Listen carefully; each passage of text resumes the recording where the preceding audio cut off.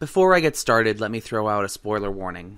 I'm going to be taking the beginner's guide and rooting through it piece by piece to put together a half assed theory. It's only an hour and a half, so if you have $10, I would highly recommend you buy it.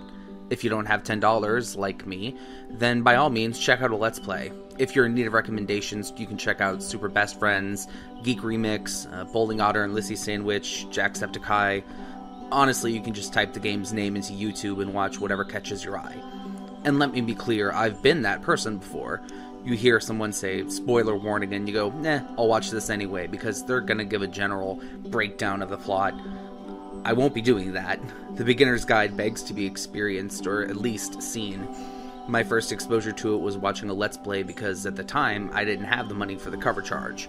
But watching someone else play it can be just as moving, so please, I implore you, spare an hour and a half and go play it or watch it, whatever you can do. I'm not going to give a synopsis. I'll be here when you're ready. Okay, all caught up? Have you taken the appropriate time to emotionally recover? Great because now we have to clarify something that still gives people trouble to this day. This story is fictional. The Davey we meet in the game is a character. There is no coda. The beginner's guide isn't a biography, it's House of Leaves. Now, I have no doubt that Davey Wreden put a great deal of himself into the beginner's guide. It's entirely reasonable to make the assumption that Coda represents some part of the real life Davey Wreden. That's literally how art and creation work. This channel is as much a part of me as it is the games that I examine.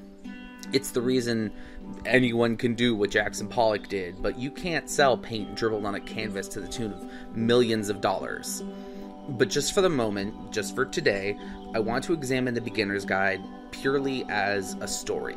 We'll travel together to a world where Coda is a real game designer and Davey Wreden is a shitty person, because there's something very interesting about Coda that I've seen people flirting with, but never quite closing the logical gap. See, I'm not breaking new ground to point out that there is something of the feminine in Coda's side of the story.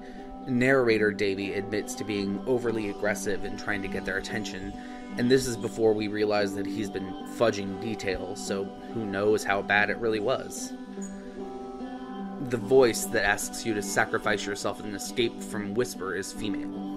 One of the concepts in the idea room specifically says that you're playing a queen, dusting her treasures while the kingdom burns in flames. The only character model you ever see without a blockhead is a crying woman trapped in a prison when it makes its reappearance. The protagonist of Machine is clearly female.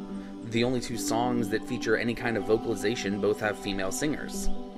You get the picture there's something gendered in Coda's games, but what has driven me insane is that most of the critiques I see that address this point then go on to say, well, but Davey always refers to them with male pronouns. And even if you try to focus on the fact that Davey is an incredibly unreliable narrator, the question is then raised how could Davey possibly mistake a woman for a man? And really, every single trans and non binary person in the room is shaking their heads as we speak. It's painfully obvious. There are more than a few lines during notes that really caught my eye. Uh, for example, he was himself the most horrible creature he could imagine. His terrible secret, he kept it well. Maybe I'll feel real someday. Stop pretending you are other people. You close your eyes and wish for it really bad. There's a lot of wiggle room here still the coda written by a real Davey could be a trans woman who's still not ready to come out yet, or they could be someone non binary who likes writing and focusing on female characters because they're rare in games. They could be a trans man, or the list goes on. That's the thing with gender. While cis people are busy talking in binaries and dualities, we're over here with a sixth dimensional Cartesian plane discovering 80 new genders a day.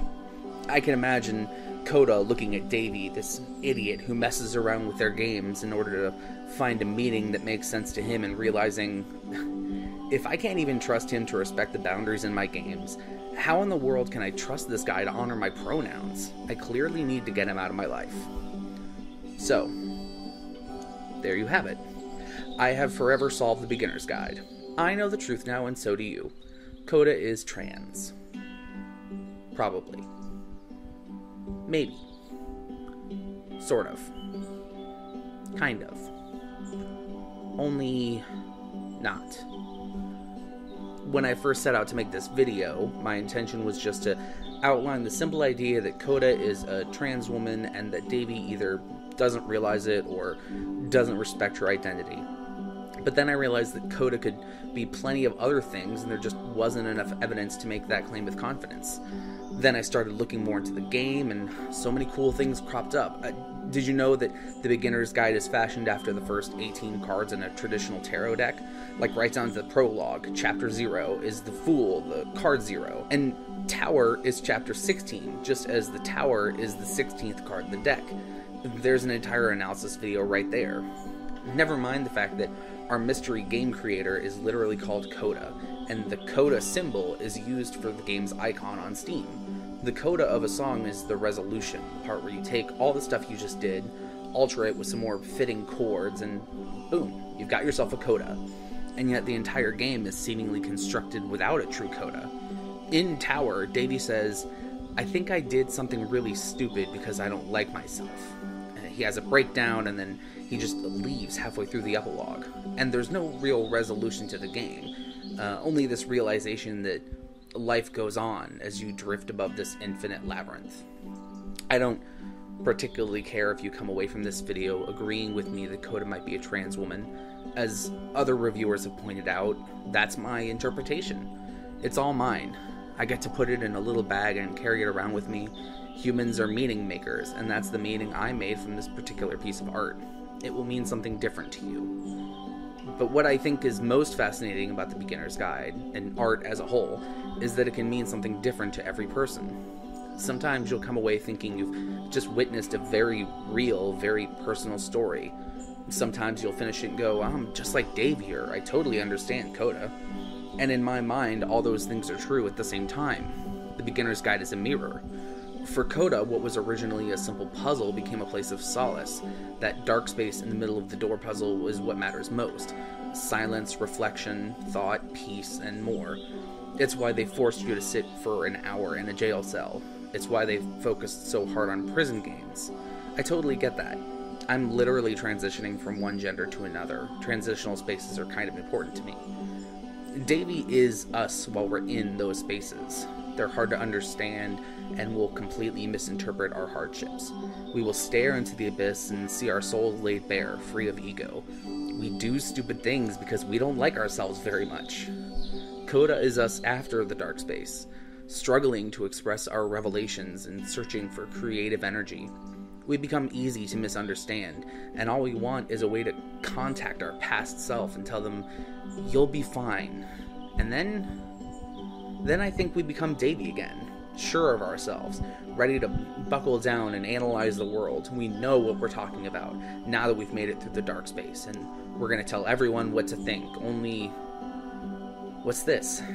A new bump in the road, a new challenge, a new fall, and then we do something stupid again because we don't like ourselves very much. I would say rinse and repeat, but that's not exactly right. There are no codas in life but there aren't repeats either. The time signature constantly changes, and sometimes everything is in 16th notes, and sometimes you're forced to rest for dozens of measures. The only directions you get at the very top of the piece are two words with feeling.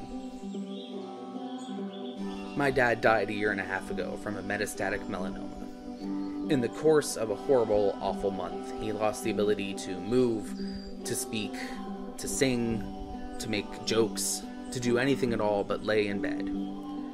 It's an experience I wouldn't curse my greatest enemies with. He died in the middle of the night while my sister was with him. If he had last words, we would have no way of knowing because brain cancer is a fuck ass that ruins everything. We had one funeral here where we live that a million people attended. We had another one months later in his hometown. So there was a good four months there where he had died, but he wasn't put to rest. Even after that, he wasn't put to rest in my head. Dumb jokes, little habits, things about the way he spoke, the songs he loved, they all linger. I'm never not in the dark space, and that's the final lesson. There might never be an actual resolution, a coda, and that's okay. Coda signed most of their works with a symbol of three dots that looks suspiciously like the logical symbol for because. Why does Coda make games? Because. Why does Davey need to see himself in other people's works? Because. Why did I make this video? Because. Why did my dad die? Because. Why do I still get up every day even when depression eats away at me? Because. Because that's life.